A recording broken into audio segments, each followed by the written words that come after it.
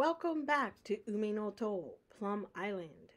So today, two things I want to talk about are fake walls and um, designs. So, um, in the new Animal Crossing New Horizons, um, there are a lot of buildings and shops that we don't have um, that I believe were in the previous versions of the game, like New Leaf. Um, and they're shops that people actually really want, I think, like bookstores and cafes. Um, I think, if I remember correctly, uh, KK Slider had a jazz club or something like that. Um, at least so I've heard. So, what we do have in New Horizons are these fake walls. Um, and there are two kinds. So, one is this one right here, uh, which is called a city wall. And there's another one back here, which is the castle wall. Uh, so see if I can get you a good shot here. Maybe not. uh, let's see if we stand here. Yeah, so there we go. So, um, the purpose of these fake walls are to kind of give you um, a cityscape atmosphere. You can use them both in your house and outside of your house, obviously. Um, so I use the castle walls in the back here. Um, so I decided to build up the area where my tailor and the general store are. And I wanted to create this kind of um, European kind of market atmosphere. Um, so kind of like a flower market and so on. And I will explore this area a little bit more um, in another video. So it really, um, I feel like it really did add to the atmosphere, putting the castle walls here. Um, otherwise, we would just have the kind of bare um, ground showing in the background, but um, the castle walls really did finish it off quite nice, and I'm quite happy with it. Um, however, they're kind of expensive, if I remember correctly. I think they're like 25,000 bells or so. Um, and the same with the city, um, the city walls. So, uh, both walls, if you take them to the llama, you can remake them. Um, and I believe there's six to eight different colors and designs. Um, so what a lot of people are doing with these fake walls is they are using them to make the shops that we don't have in this version of the game. Um, so in my case, I made a sweet shop. Um, as you can see with the cake and the ice cream here.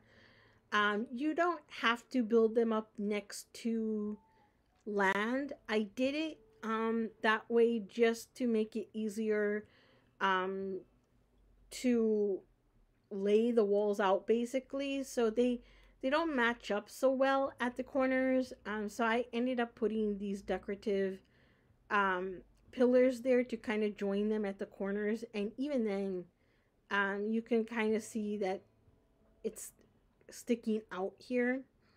Um, I could probably move these pillars to stick out a little bit to make it more coherent and congruent, but um, yeah. So that's kind of like what I have going on here. And they are nice. I really do like them. Um, they light up at night, so they they have lights. Um, and then another thing that I did um, to make this sweet shop was I used a bunch of simple panels back here um, to make a back wall rather than just having this uh, bare ground look, uh, which is not so noticeable from the side. So I've kind of just left that the way it is. Um, I guess if you're, you know, really picky, you could probably, um, you know, add to that if you wanted to. Um, the flooring is also my design. It's not anything um, you know, amazing or groundbreaking, but um, opposed to the brick pattern that you get with the um, landscaping design, um, putting the tile design um, in the sweet shop really just brought it together um, and just really finished it off quite nice. So it really changed the whole atmosphere of the sweet shop. Um, so this is one type of shop that I did using these fake walls. And then um, I did use the My Design uh, to get this pattern on the simple pattern, or I'm sorry, the simple panels. Um, so we'll talk about the design a little bit more um, in a moment. And just kind of running across here. So we'll take another tour of the rest of the island on uh, at a later date. Um, so again, I made this kind of argyle pattern for the floor um, to make a kind of bookstore. And I'm not quite finished with this yet. Um, but again, I used the city walls, and in this case, I used yellow ones, and then um, the kind of uh, designer pillars or decorative pillars, sorry, decorative pillars um, to finish them off at the corners. And again, it just does not line up quite right. Um, so something that um, I've seen and heard about other players doing is using these walls in front of their villagers' houses um, to make the villager's house into a shop. So um, I've seen where they put these um, kind of lit light up cases, um, display cases in front of the villager's house, and then they made a bookstore in front of the villager's house. So it's a little bit uh, sad. The villager is living in a bookstore, I guess. Um, but yeah, those are two things players are doing um, in order to have shops that basically they did not um, implement in this version of Animal Crossing. So again, just putting the city or castle walls in front of um, the house or something like these display cases. So um, those are my two shops that I made. And then again, uh, this one has light, oops, has lights as well. So I, I kind of like that. Um, so we'll explore all of this another time. And then um, talking about the um, design. So um, actually, I've kind of come to resident information too soon, uh, which is the closest DIY station um, at the moment. Um, so before we go in there, um, if you go to your tailor, there are three, there's triplets, right? Um, hedgehog sisters. So if you go in here and in the back, um, one of the sisters is always sewing. And at first, she doesn't talk to you.